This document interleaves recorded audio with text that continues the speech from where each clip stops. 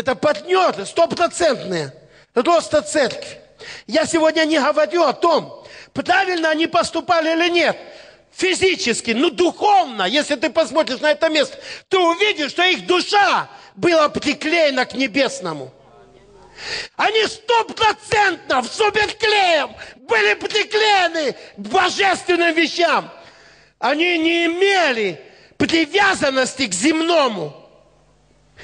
То, что они физически распрощались, я не, опять не, я не берусь комментировать их поступки, я не берусь.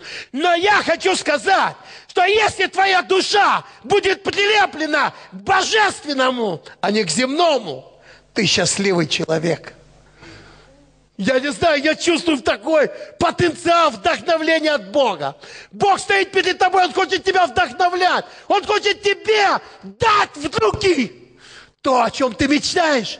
Но твоя душа прилеплена к твоему дому, но не к церкви. Понимаете или нет? Сегодня все грызут одну науку. Почему Бог не прилагает спасаемых к церкви?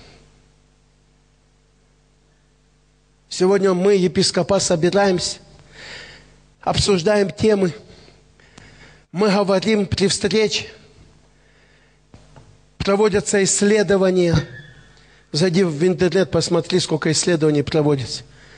Почему церкви люди каются, а не прилагаются к церкви? В чем проблема?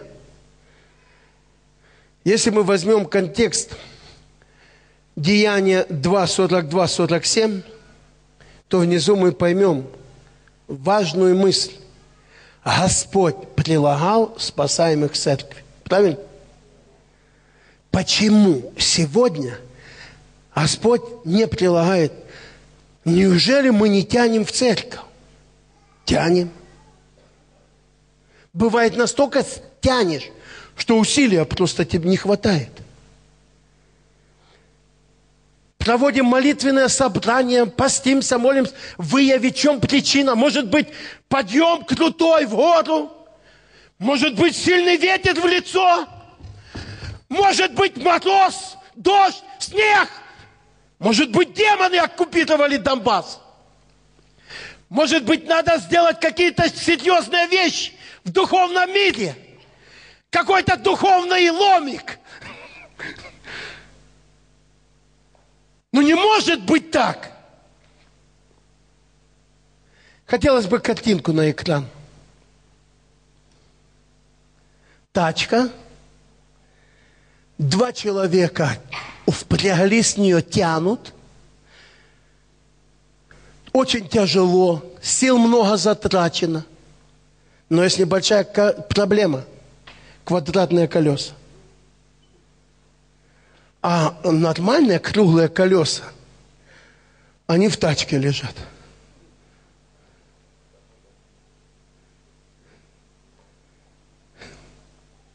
Я, я тебе, когда я увидел, я думаю, так это же церковь 21 века. Да, это церковь 21 века. И Бог мне показал организовать эти семинары. И сказал, ты должен снарядить этих людей. Ты, твоя задача. Я ставлю перед тобою задачу, говорит Господь, снарядить этих людей. Это не твоя задача тянуть церковь. Это не твоя, и не только твоя, это не задача совета церкви тянуть до изнемождения церковь. А церковь убедается, а церковь говорит, проблема. Ветер, надо молитву взять. Давай положим уже все уста. Надо поститься, надо это. Надо назначить молитвенное собрание. У нас мало молитв, у нас мало постов. Надо это, надо то, надо это. Проблема конкретная. И мы об этом будем говорить немного позже. Пусть оно будет на экране. Каждый раз, когда текст не надо будет, пусть это, пусть люди смотрят. Я не хочу никого на самом деле обвинить, об, об, осудить. Написано, Пусть обличает меня праведник. Помните или нет?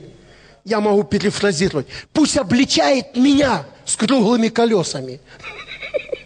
Но если у тебя квадратное или у меня квадратное колесо, да что толку обличать? Пусть обличают меня круглые.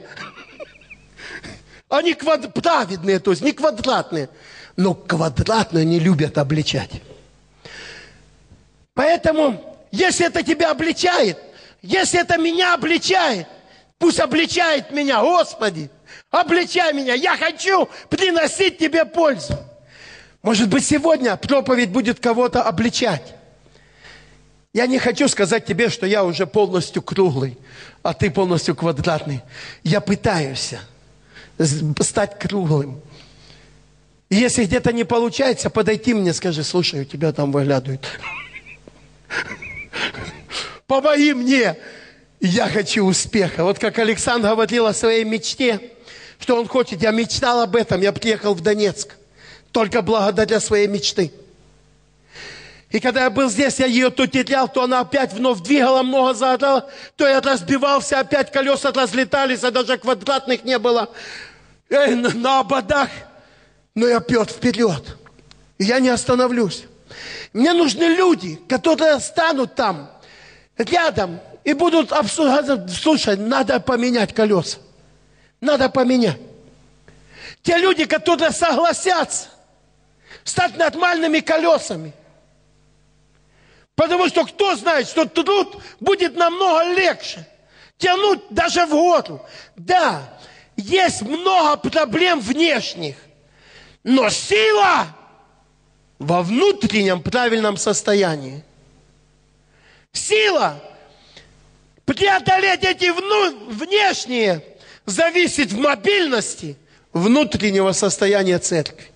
Кто-нибудь на это скажет? Аллилуйя. Давайте так хорошо я сказал Богу аплодисменты дадим.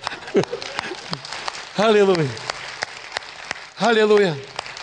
Скажи, я верю в рост церкви. Я просто его переживаю уже. Обязательно возьмите э, семинар. Сегодня еще разрешаем брать семинары не партнерам. Э, те, которые еще не стали партнерами, и послушать. Всем разрешаем. Но очень важно научиться видеть в духе от Бога и мечтать о том, что ты видишь. Потому что если мечта, э, ты не, не научишься мечтать, тогда что дает мечта? Она преобразовывает тебя изнутри. Это энергия внутренняя твоя. Если ты не будешь иметь этой внутренней энергии, ты никогда не сможешь достигнуть снаружи. Никогда. Не обманывайтесь. Не обманывайтесь. Не обманывайтесь. Просто не обманывайтесь. Если у тебя нет ясной, четкой, записанной мечты, ведения, ты человек, который на пути к неудаче. Можешь обвинять всех сегодня в том, что ты такой несчастный. Но это твои мечты, воплощенные в жизнь. Можешь со мной соглашаться, можешь нет. Это дело каждого. Но я тебе говорю, то, как мы живем, это то видение, которое мы имели. Правильно оно или неправильно. И поэтому да поможет Бог просто разобраться, увидеть себя – и перейти к счастью, к счастливому будущему, которое лежит перед тобой прямо в твоем доме. Аллилуйя. Аминь. Итак, э, рост церкви не может быть собственными усилиями. Э, квадратные колеса, они означают собственное усилие. Круглые колеса – это работа Бога. Бог может. Мы должны выяснить, Бог может и Бог не может. В одном случае Бог может, в другом случае Бог не может. Бог не может прилагать спасаемых к церкви, если у церкви квадратные колеса. Бог мог прилагать спасаемых к церкви, потому что у первой церкви были круглые колеса. Тачка – это церковь, прообраз церкви. И колеса – это работа церкви. Аминь. Аллилуйя. Итак, мы оставляем тачку с бричкой и идем дальше, к Слову Божьему. Мы хотим разобраться, э, что Бог сегодня, э, как Бог спасает, как Бог может спасать.